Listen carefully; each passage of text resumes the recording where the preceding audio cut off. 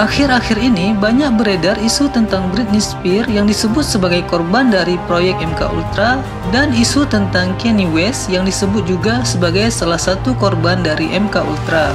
Sebenarnya MK Ultra sendiri sudah ada sejak masa Perang Dunia dan berkembang tahun 1950 hingga 1960-an. Benarkah MK Ultra dapat mengendalikan pikiran manusia menjadi terkotak-kotak dan memunculkan kepribadian baru? Ikuti terus videonya.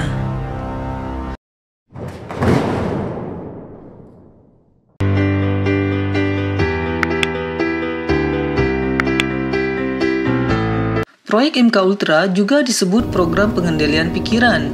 CIA adalah nama kode yang diberikan kepada sebuah program eksperimen subjek-subjek manusia yang dirancang dan diambil oleh Central Intelligence Agency Amerika Serikat yang dilakukan secara ilegal dan berkali-kali. Tujuannya ialah untuk mempelajari cara mengendalikan pikiran, cara interogasi, cara memodifikasi perilaku, dan melemahkan orang tersebut serta mendorong pengakuan lewat pengendalian pikiran.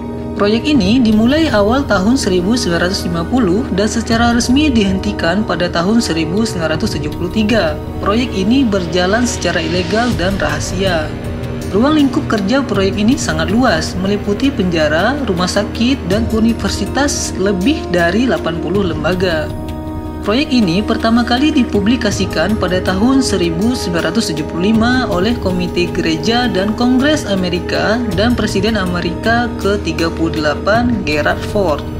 Dan ia langsung membuat komite penyelidikan investigasi kegiatan yang dilakukan CIA tersebut. Sayangnya, file dari proyek tersebut langsung dihancurkan pada tahun 1973 oleh perintah Direktur CIA Richard Helms. Tapi untung saja ada beberapa dokumen yang masih tersisa. Sebenarnya awal terbentuknya proyek MK Ultra itu sendiri berawal dari era Perang Dunia Kedua.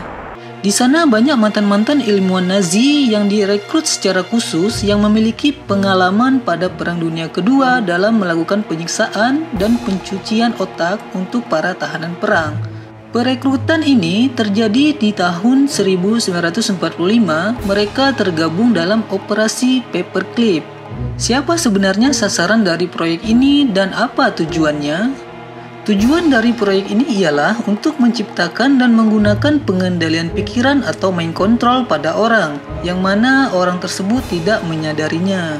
Uji coba sangat sistematis. Awalnya difokuskan penurunan daya sensorik pada saraf otak dengan cara diberi obat halusinogen. Disiksa, dilecehkan secara seksual dan mental dalam jangka waktu terus-menerus. Dari eksperimen ini, diharapkan teknik ini dapat membuat penjahat dan tawanan perang musuh akan mengakui kebenaran dari kejahatan yang dilakukannya. Di mana lokasi sebenarnya MK Ultra tersebut, tidak ada yang bisa memastikan. Ada beberapa yang menyatakan bahwa pangkalan rahasia MK Ultra bawah tanah di Fort Hood, Texas, namun hal tersebut belum dapat dibuktikan. Lalu, siapa sebenarnya di balik proyek MK Ultra tersebut? Apakah CIA saja yang terlibat? Dalam buku yang berjudul The Illuminati Formula to Create an Undetectable Total Mind Control Sleeve yang ditulis oleh Fritz Springmeier dan Cisco Wheeler telah menjelaskan secara terperinci bagaimana menjadi handler atau penanganan MK Ultra. Beberapa teori konspirasi juga mengatakan bahwa proyek MK Ultra itu sendiri ialah bagian dari cloning center Illuminati. Konspirasi mengatakan Illuminati lah yang mengajarkan metode tersebut kepada pejabat CIA dan kemudian terlibat dalam proyek tersebut. Maka, teori konspirasi mengatakan bahwa program pengendalian pikiran itu berpusat di Cloning Center Illuminati atau CCI.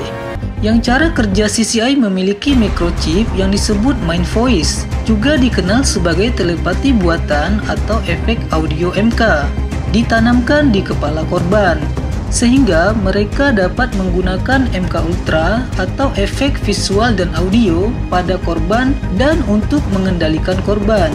Dengan menggunakan chip ini, mereka dapat membuat siapa pun yang melihat atau mendengar apa pun, bahkan korban dapat merasakan dan melihat diri korban melayang, terbang, menembak bola api, dan lain-lain. Tetapi itu hanya ilusi yang dikenal sebagai visualisasi MK Ultra. Dan orang-orang yang memegang kendali tahu apa yang korban lihat dan orang lain yang melihatnya. Di pusat cloning center, mereka menggunakan MK Ultra atau efek visual dan audio dan obat-obatan. Mereka para teori konspirasi percaya bahwa MK Ultra masih berlangsung sampai sekarang, seiring dengan meningkatnya satanisme dan sekte-sekte rahasia. Ritual setan adalah rutinitas dari pemrograman mereka, bahkan termasuk pengorbanan manusia. Britney memang dulu telah menjadi bagian dari Illuminati. Makin terlihat saat album duetnya bersama Madonna semakin mempertegas kalau ia telah bergabung dengan Illuminati. Kita tahu bahwa jika tergabung dalam Illuminati, hidup dan karir sudah menjadi milik mereka. Jangan lupa like dan subscribe, insya Allah saya akan membuat video yang lebih baik lagi.